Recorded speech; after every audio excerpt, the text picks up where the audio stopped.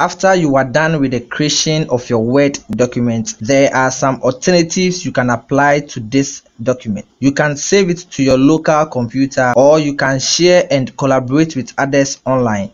And also you can have a hard copy of your document through a connected printer and also you can save it as a pdf in this video i am going to show you how to save your document as a pdf and also how to print your word document click on file select print and you are going to have the print configuration. Choose the number of copies that you want.